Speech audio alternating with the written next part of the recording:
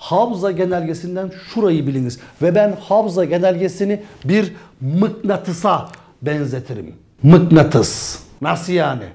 Abim milli mücadeleyi herkes istiyordu. Herkes. Ama bize bir ne lazımdı? Lider lazımdı. Şimdi Mustafa Kemal çıktı sahaya. Ben dedi savaşacağım ulan benimle misiniz dedi. Allah Anadolu'da milli mücadele isteyen kim varsa herkes Mustafa Kemal'e bağlılık telgrafları gönderdi.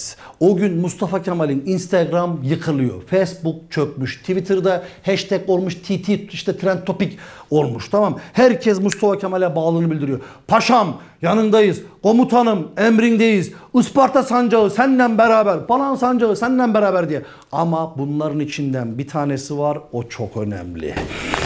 O çok önemli. Kim o? Türk ordusunun forveti. Gol yollarımızın etkin silahı.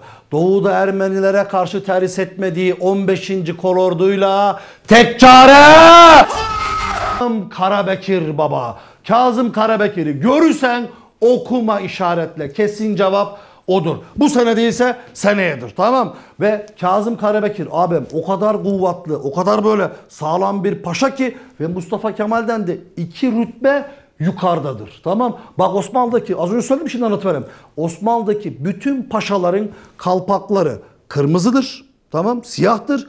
Kazım'ınki bordodur, yana dönüktür. Bordo bereli hesabı. Doğu Anadolu'da Kazım dedin mi akan su dururdu. Kazım Munzur'dan geçecek değil mi? Munzur durur.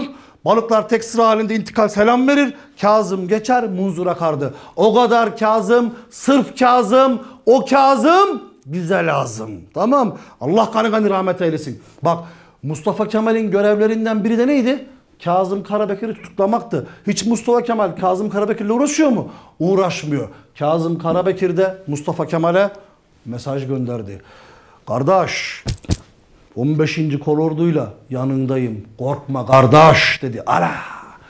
Kazım da bizden mi? Bizden. Anladınız abi? Burası son derece önemli. Hemen şuraya bir başlık aç.